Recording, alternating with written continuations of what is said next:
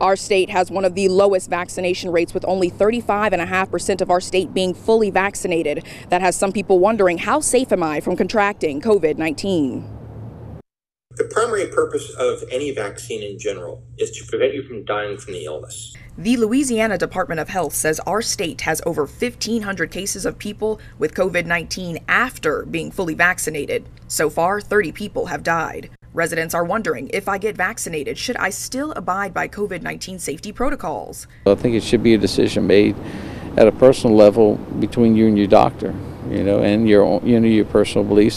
Lafayette resident Martin Guidry got vaccinated three months ago. He did it for his parents after seeing how COVID 19 affected the elderly. He says he has dinner with mom and dad every weekend.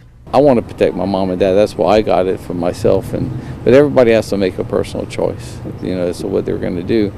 But I don't believe they should be sanctioned by our society.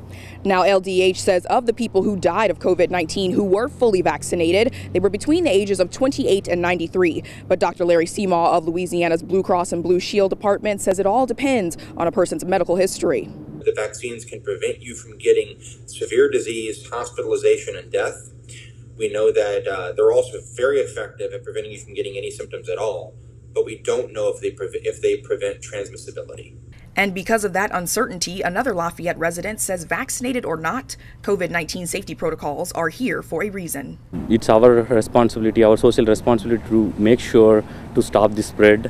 Even though you're vaccinated, there are uh, variants here, so you might be uh, you might be impacted or uh, you might be spreading it out. Now, keep in mind that someone may have contracted COVID 19 somewhere in between that two to three week time period that they were waiting for their second dose. In Lafayette, I'm Princess Jeanne Steverson Lowry, News 15.